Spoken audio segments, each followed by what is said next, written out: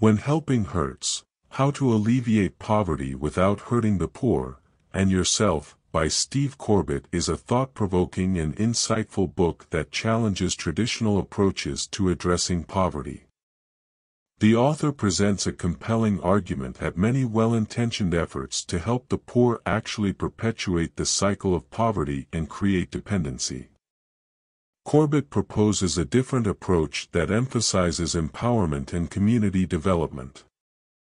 One of the key ideas in the book is that poverty is not just a lack of material resources but also a result of broken relationships and a sense of marginalization. Corbett argues that simply providing handouts or engaging in short-term relief efforts does not address the underlying issues that contribute to poverty. Instead, he suggests that effective poverty alleviation requires a holistic approach that takes into account the social, economic, and spiritual dimensions of people's lives. The author highlights the importance of recognizing the dignity and capacity of individuals living in poverty. Rather than treating them as passive recipients of aid, Corbett emphasizes the need to involve them in the decision-making process and to build upon their existing skills and strengths. This participatory approach helps to restore a sense of agency and self-worth, enabling individuals to become active contributors to their own development. Corbett also critiques the common practice of short-term mission trips and relief efforts that can unintentionally create dependency and undermine local economies. He argues that such interventions often prioritize the needs and desires of the volunteers over the long-term well-being of the communities they aim to serve. Instead, he advocates for long-term, sustainable solutions that prioritize the building of local capacity and leadership.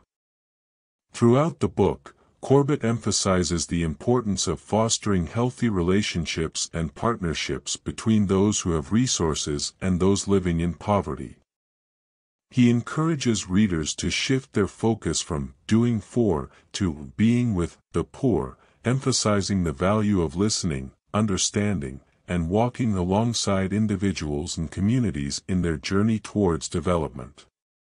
Corbett also challenges the prevalent Western mindset that equates poverty solely with material lack. He argues that poverty is a multidimensional issue that includes spiritual and relational brokenness. As such, he suggests that poverty alleviation efforts should address not only the material needs but also the spiritual and social aspects of individuals and communities. One of the strengths of Corbett's book is his use of real-life examples and case studies to illustrate his points. These stories help to humanize the issue of poverty and demonstrate the potential for transformation when the right approach is taken. Corbett's writing style is accessible and engaging, making complex concepts easy to understand and apply. Overall, When Helping Hurts is a thought-provoking book that challenges readers to reconsider their approach to poverty alleviation.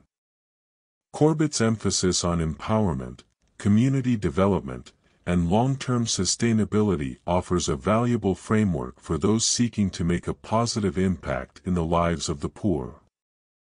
By recognizing the dignity and capacity of individuals, fostering healthy relationships, and addressing the multidimensional nature of poverty, we can truly make a difference without inadvertently causing harm.